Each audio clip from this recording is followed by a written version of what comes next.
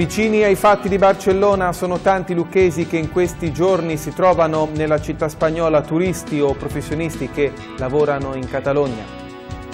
Incendio doloso distrugge impianto sportivo ignoti. Giovedì notte hanno appiccato le fiamme negli spogliatoi del campo di San Cassiano a Vico, danni per decine di migliaia di euro. Spiaggia invasa da Lavarone, ruspe al lavoro per la rimozione a Petrasanta, oltre 100 tonnellate di rifiuti rimosse in queste ore che si aggiungono alle 1300 già tolte da inizio stagione. Emergenza ciclica da risolvere, dicono gli operatori turistici. Lo sport, il ciclismo, lo spettacolo è a Marginone, grande ciclismo giovanile, giorno di Ferragosto con i Memorial Carezzi per esordienti e il trofeo Pellegrini per allievi.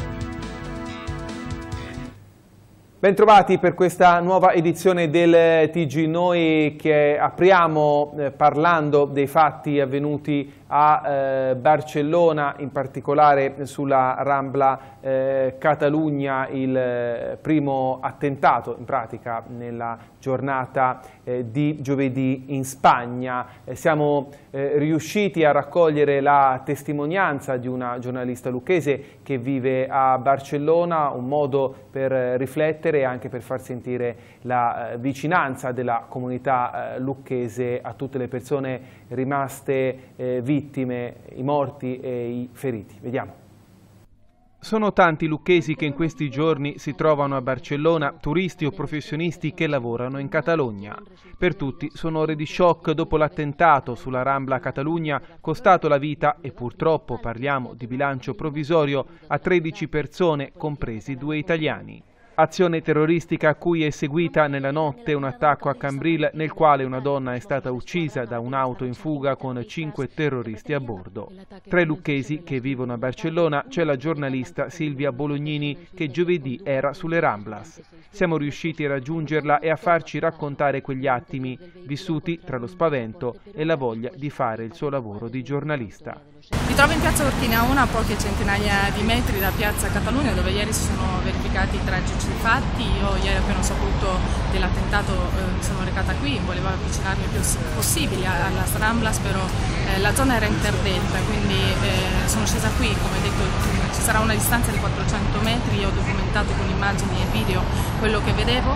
Ehm, ovviamente scene di panico, di terrore, un elicottero che pattugliava la zona dall'alto, ambulanze che, passava, che, passavano continuamente, pompieri, eh, gente asserragliata dentro i negozi in attesa di sapere nuove notizie, aggiornamenti dai telegiornali e dalle forze dell'ordine, perché come detto era tutta la zona eh, delimitata, recintata. Come detto potevo esserci anche io perché io vivo qui da tre anni, la Stramblas è una delle arterie principali di Barcellona, ehm, luogo ogni giorno eh, frequentato da turisti ma anche da eh, residenti, però quello che è certo è che eh, al risveglio la città subito ha detto che non ci sta, che non vuole eh, sentire vivere minacciata da questo terrore, è stata fatta una manifestazione e eh, sono in corso mm, ancora eh, momenti di, eh, di ricordo, le persone lasciano proprio sulla Stramblas ricordi, accendono candele, scrivono messaggi in ricordo delle vittime. L'escalation del terrore che nelle ultime ore si è diffusa dalla Spagna, anche in Finlandia e Germania, ha dei risvolti ovviamente anche in Italia e sul nostro territorio. Prevedibile che i controlli e le misure di sicurezza già previste siano ancora più strette, a partire da due grandi eventi in programma a Lucca, come la Notte Bianca e il concerto dei Rolling Stone. Danni per decine di migliaia di euro all'impianto sportivo di San Cassiano a Vico alle porte di Lucca, un incendio sicuramente di origine dolosa, sono stati trovati gli inneschi, ha devastato la notte scorsa gli spogliatoi e messo fuori uso luce, acqua e riscaldamento, un vero colpo basso per la società calcistica dell'Acqua Calda San Pietro a Vico che milita in prima categoria e che ha molti tesserati anche nel settore giovanile e nella scuola calcio. Sul posto, oltre ai pompieri, anche i carabinieri e la polizia che stanno curando curando le indagini. Il presidente della eh, società, Giampiero Bandettini, ha chiesto aiuto al comune di Lucca per continuare l'attività e per rimettere in sesto la struttura che l'acqua calda ha in gestione. E ora in Versilia è di nuovo emergenza eh, Lavarone sulle spiagge di Pietrasanta tra eh, Motrone e eh, un altro eh, tratto eh, di eh, spiaggia che arriva fino a Pietrasanta. Vediamo. 11 ore di lavoro di notte e all'alba e alla fine l'emergenza Lavarone a Marina di Pietrasanta per adesso si può dire superata. Dopo una settimana di disagi e di proteste, la spiaggia tra Motrone e Tonfano è tornata alla normalità dopo l'invasione di alghe che ha reso impraticabile mezzo chilometro di arenile ricoperto di sostanze maleodoranti. Sei mezzi in funzione sulla battigia tra trattori, ruspe e pale, a cui si aggiungono i due camion di Ersu che hanno fatto la spola tra la spiaggia e l'impianto di trattamento del materiale rimosso. 100 tonnellate asportate dal bagnasciuga che fanno salire il monte complessivo a 1400 tonnellate. Le operazioni, coordinate dal comune di Pietrasanta e dal consorzio dei balneari, si sono concluse poco dopo le 8 di mattina con il via libera del vice sindaco Daniele Mazzoni. Purtroppo il Comune e la categoria dei balneari eh, sono lasciati soli mh, perché ricordo che il, il, il rifiuto, eh, che si tratta di questo a questo punto, proviene dal mare e in parte eh, dai fiumi in altri periodi dell'anno, per cui a nostro parere dovrebbe essere anche la regione toscana, se non addirittura lo Stato italiano, che eh, dovrebbe venire incontro ai comuni costieri che sono sempre lasciati soli nella gestione di questa importante emergenza che ha dei costi importanti, perché è bene ricordarlo, ce li stiamo accollando eh, il comune di Pietrasanta e in parte i balneari.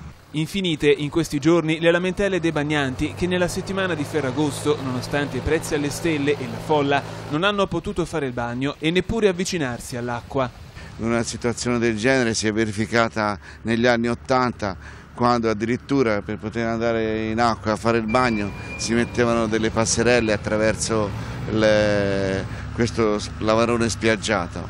Adesso la speranza è che il mare smetta di restituire alghe oppure l'emergenza tornerà. Ma ovviamente i turisti in Versilia ci sono e come sono stati pizzicati da alcuni passanti che li hanno immortalati seduti su una panchina del centro come due turisti eh, qualsiasi, due vere e proprie star. Eccole qua, Samuel Jackson e Magic Johnson in vacanza nel Mediterraneo in queste settimane. Il popolarissimo attore e l'ex eh, giocatore dell'NBA sono stati fotografati insieme in via Carducci al Forte tra le vetrine griffatissime con tanto di borsette alla mano dopo lo shopping di lusso. I due stanno trascorrendo delle vacanze nel Mediterraneo e evidentemente si sono fermati. Anche in Versilia, a proposito di turisti, in Valle del Serchio, in questa settimana di eh, Ferragosto, davvero tante tante presenze. Ferragosto ha confermato l'ottimo momento che sta vivendo la Valle del Serchio sul fronte turistico. Quella dell'Assunta è stata una giornata che rimarrà negli annali per numero di presenze, nonostante la corsa ciclistica Firenze-Viareggio che ha creato molto code e fatto arrabbiare tanti automobilisti. Il sindaco di Castelnuovo, Andrea Tagliasacchi, ha annunciato che su questo argomento chiederà al prefetto più attenzione. A parte questo intoppo e qualche lamentela per gli autovelox, la giornata è stata davvero speciale. Come avviene ormai da oltre un anno, Vagli ha fatto la parte del leone Migliaia di persone hanno deciso di fare un giro sul ponte a funi sospese, gettarsi con il volo dell'angelo, ma anche cogliere l'iniziativa voluta dal sindaco Puglia Campocatino con la festa di Ferragosto che ha registrato il tutto esaurito, tant'è che dalle 14 è stato necessario chiudere l'accesso al caratteristico paesino montano nel versante dell'Acqua Bianca, nel comune di Minucciano, molto apprezzato il parco acquatico voluto dall'amministrazione comunale e gestito dalla locale squadra di calcio. Gramolazzo, con il suo lago, si è dimostrato una soluzione molto apprezzata dai tanti turisti. Qui si può praticare la pesca, la vela e fare un giro lungo il lago per poi gettarsi per un bagno nelle limpide acque scese dal monte Pisanino. Anche i ristoranti hanno registrato il tutto esaurito, per non parlare delle tantissime sagre che caratterizzano questo territorio, tanto da diventare attrazioni vere e proprie. Il turismo, insomma, è in netto aumento, anche in doppia cifra, come testimonia la Grotta del Vento a Fabbriche di Vergemoli. Torniamo in Versilia per lo spettacolo, davvero tutto esaurito e grande successo, di Enrico Brignano a Villa Bertelli. È stato un ritorno in Versilia per Enrico Brignano, due anni fa sul palco della Versiliana e giovedì sera a Villa Bertelli a Forte dei Marmi davanti a 2600 spettatori che lo hanno lungamente applaudito. Un grande ritorno, quello del comico romano, che porta avanti con successo la rassegna estiva di Villa Bertelli con un altro sold out dopo quello di Antonello Venditti lo scorso 14 agosto. Pubblico numeroso e caloroso, come lo stesso Enrico Brignano ha sottolineato alla fine dal palco, esprimendo il desiderio di tornare anche il prossimo anno. Molti gli artisti e personaggi del mondo sportivo sono giunti a Forte dei Marmi per assistere all'esibizione del comico romano che debutta a Villa Bertelli con uno spettacolo che vuole in qualche modo celebrare i suoi 30 anni di carriera nata con gli studi alla corte di un maestro indiscusso come Gigi Proietti. E tu, Moby Dick, da quale profondo abisso starai ridendo di me, del capitano In platea ad assistere a questo nuovo spettacolo dal titolo Enricomincio da me c'erano Giorgio Panariello, l'attrice Monica Guerritore, Mara Maionchi, il presidente del Genoa Calcio Enrico Preziosi e tutti si sono spellate le mani in lunghissimi applausi sulle battute al fulmicotone di Brignano. Una comicità intelligente, la sua, e mai banale. Un grande one-man show costruito per sé e su di sé.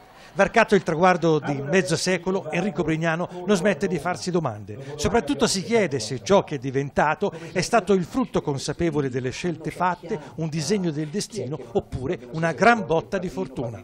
Tra i suoi pezzi forti e nuove situazioni comiche, coadiuvato da danzatori, acrobati, musiche oniriche, scene quasi magiche, Enrico ha ricominciato dal principio, ovvero dal palcoscenico. E da un attore all'altro, un attore molto particolare conosciuto a Lucca e in Toscana, Gildo dei Fantardi. A lui hanno dedicato una citazione anche la Treccani e Wikipedia. Stiamo parlando di Gildo dei Fantardi al secolo Luciano Filippi che in questo 2017 festeggia 50 anni di carriera. Canta storie, menestrello, cantautore e attore è sulla scena dal 1967, da quando ha iniziato a interpretare le canzoni popolari accompagnato alla fisarmonica dal compianto Gaetano Capraro. Poi tanto cabaret, partecipazioni a trasmissioni televisive e radiofoniche, film e molto altro ancora. Ma io avevo il mio lavoro vero, quello di rappresentante e così mi sono sempre sentito come un intruso nel mondo dello spettacolo, racconta timido mostrando il suo ritratto realizzato da Pierluigi Puccini. Timidezza non sul palco certamente, ma di promuovere se stesso, che dopo 50 anni ha deciso però di rompere, organizzando una serie di eventi che prenderanno il via giovedì prossimo, 24 agosto, ad Artemisia di Tassignano mezzo secolo di carriera, segnati anche da molte partecipazioni cinematografiche, come quella in Arrivano i gatti, con i gatti di Vicolo Miracoli, che cita ancora come uno dei ricordi più belli. Anche perché c'era Vanzina, primo film che, che dirigeva, e I Gatti, che era il primo film che facevano, vidi proprio con soddisfazione, dopo la mia prima diciamo, interpretazione, eh, andare eh, ad abbracciarsi Umberto Smaila e Vanzina, perché c'era il timore di un bischero come me che arrivava lì a Roma. E a proposito di film, giovedì, oltre alla partecipazione dell'improvvisatore Mauro Chechi, sarà proiettato anche il mediometraggio realizzato dalla regista lucchese Alessandra Angeli, Asfixia, già vincitore di molti premi internazionali, in cui appare come comparsa anche Gildo. Appuntamento giovedì alle 21.30 ad Artemisia. Si nasce, si muore, eterna parabola, si mangia per vivere, per fare l'amore, il viver felici è solo una favola. Cosa c'è di più vero? E ora ascoltiamo come ogni fine settimana l'editoriale curato da Sergio Talenti, l'Ancora.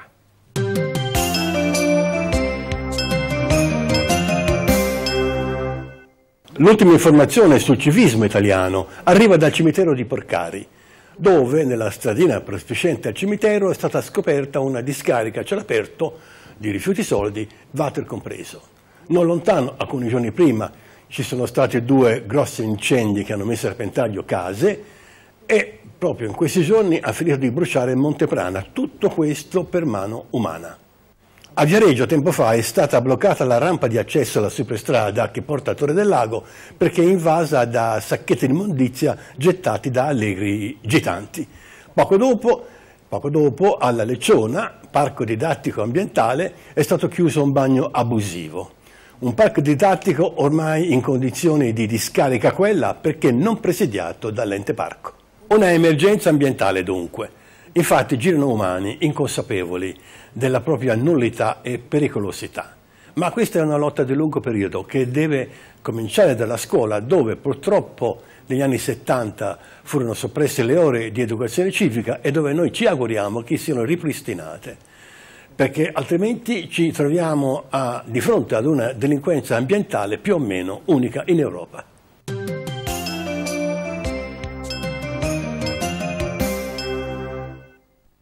È tutto per la prima parte del TG Noi, una pausa e poi la pagina sportiva.